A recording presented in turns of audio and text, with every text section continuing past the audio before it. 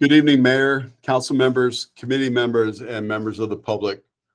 My name is Tim Kelly. I'm the Special Operations Commander with the Police Department.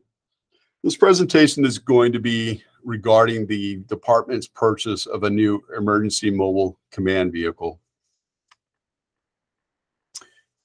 It will be the recommendation of the department that the Community Services, Public Safety, and Housing and Development Committee recommend that City Council approve and authorize the purchase order with Emergency Vehicles Incorporated, or EVI, in the amount of six hundred ninety-eight thousand, five hundred and thirteen dollars and ninety-one cents, as well as approve the purchase and use of this vehicle since it is technically uh, defined as military equipment under California Government Code 7070C5. On March 29, 2022, City Council authorized the use of $750,000 of the American Rescue Plan Act funds, or ARPA, to be utilized by the department for the purchase of a new emergency command vehicle and the upfitting of that vehicle. Uh, this vehicle will be replacing the department's existing vehicle, which has uh, become antiquated and unfortunately is unable to fulfill the department's needs. Our existing command vehicle was purchased in 2000 and due to its age is no longer equipped with relevant technology uh, that is required uh, to meet uh, the department's mission. Uh, the average life expectancy of these types of vehicles is approximately 20 years, and this is due largely to uh, evolving technologies and just the general unavoidable deterioration that occurs with time. Uh, the photograph at the bottom of the slide is a photograph of our existing command vehicle. Uh, that's the vehicle we intend to replace. Uh, the new command vehicle will assist with several different missions critical missions. Uh, those include things like uh, during natural disasters, uh, large community events, uh, during tactical operations, uh, crime scene investigations. Um, it will give the department better command and control of these types of uh, it will also serve as an emergency backup communication center in the event of a catastrophic failure of our communication center located at our police headquarters. Uh, the photograph at the bottom of the slide is a vehicle that was built by EVI, uh, although this is not the vehicle that we uh, are hoping to purchase because that hasn't been built yet.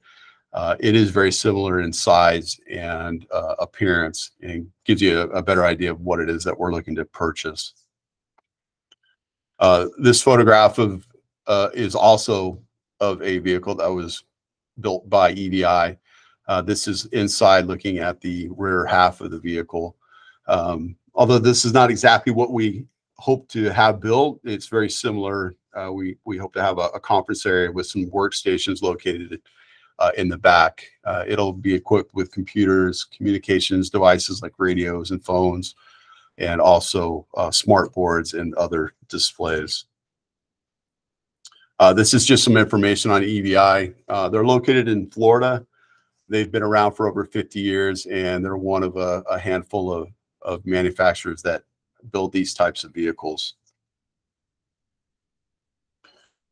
After we received notification of funding, we began to contact several vendors. Uh, EVI was eventually selected due largely uh, because of its ability to meet the needs that we specified. Uh, for the procurement of this vehicle, EVI will utilize Houston Galveston Area Council cooperative pricing. Uh, pursuant to the City of Oxnard Ordinance Number 2943, which was adopted June 19th of 2018. Uh, the use of cooperative purchasing whereby multiple government agencies enter into a contract to collectively procure a vendor is permitted. Upon receiving this vehicle, our current command vehicle will be submitted for sale or auction. Beginning on January 1st, 2022, uh, Assembly Bill 41 was codified in California Government Code Section 7070 through 7075. And basically mandates that all law enforcement agencies obtain approval from their applicable governing body via the adoption of a military equipment use policy by ordinance before uh, the law enforcement agency can fund, acquire, or use any type of military equipment. Uh, this type of vehicle is is in fact considered military equipment under California Government Code Section 7070C5. Uh, it basically defines uh, a command vehicle as uh, a vehicle that is built or modified to facilitate the operational control and direction of public safety units.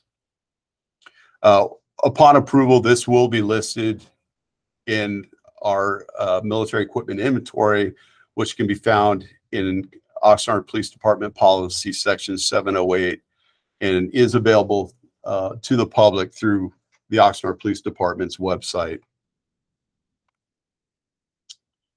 The cost of the mobile command vehicle uh, is $698,513.91.